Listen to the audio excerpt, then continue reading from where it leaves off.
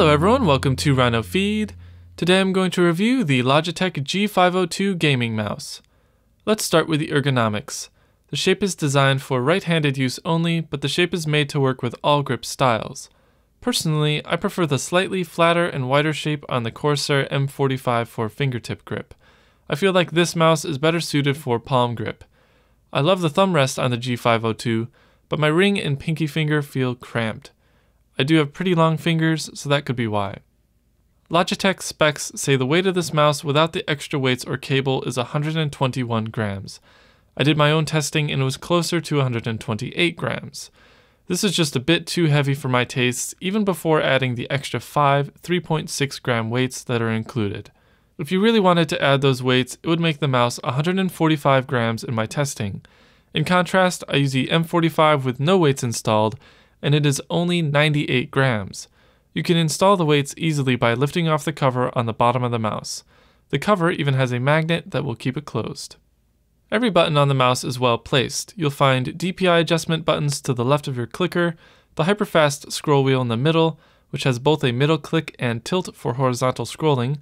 Underneath that, there is a button that switches from hyperfast mode to clicky mode, and then you'll find the profile switcher button. There are back and forward buttons on the left side, and also a quick DPI adjustment button, which is both easy to reach and not in your way. I've never accidentally hit it. Your right and left clicks have Omron switches with a consistent feel across the entire clicker button. There's also a few LEDs on the mouse. You'll find the Logitech G logo and the DPI adjustment bars. Interestingly, these turn a darker blue color when you're changing profiles, but they are a lighter blue color when changing DPI. You can turn off the G logo LED entirely, which is a nice option if you don't want distracting LEDs. Its top feature is the sensor, which is the PMW3366. This is an optical infrared LED that runs all the way up to 12,000 dpi with no smoothing or acceleration. There's not a lot to say other than it's impressive. I love the performance and feel of this sensor. In fact, it's the only other sensor I've tried that feels just as responsive and accurate as the PMW3310, which used to be my favorite sensor of all time. All that being said, I would never use it at 12,000 dpi, that's gotta be there just for bragging rights. It also has a high quality braided cable that's much thicker than most. We'll see over the long term, but I expect it to be incredibly durable. Personally, I don't find it getting in the way or feeling heavy, but I've always used corded mice. Alright, so let's take a look at the software. The first thing you'll notice is that there is onboard memory stored on the mouse, or automatic game detection, which is all of your profiles stored on the computer instead. And the settings actually look a little bit different for each. So first of all, I will go through the onboard memory. Go to the next tab here. You'll see you have up to three profiles. You have up to five DPI sensitivity levels, and you can turn that to only one if you'd like, or all the way up to five. You have all of your different ranges. You can type them in. It's it's by 50, so lowest is 200, and then it goes by 50. Pretty cool there. And then um, you can assign which one you'd like as your default DPI. And then when you switch through these, you just go back and forth. And which one is your shift DPI, which is this orange one, and that's the one that happens when you press this thumb button, or the sniper button, as Corsair likes to call it. You have your polling rate, obviously goes up to 1000, and then all these different buttons can be customized to your liking with different macros. So you just hit this little down arrow and click edit.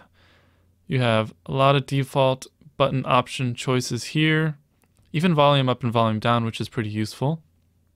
You have keystrokes, so you type in the keystroke you'd like, or there are some default options to choose from there as well. And multi-key macros, you can choose between recording the delays or no delay at all.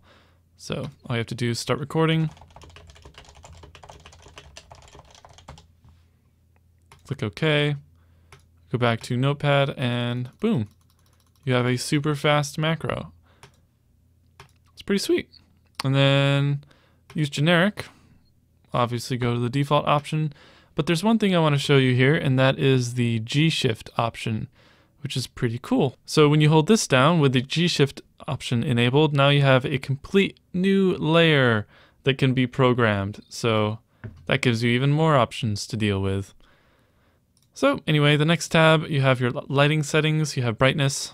You can turn the G logo off completely, which is kind of nice. Or you can have full brightness, which gets entirely too bright. Way too bright.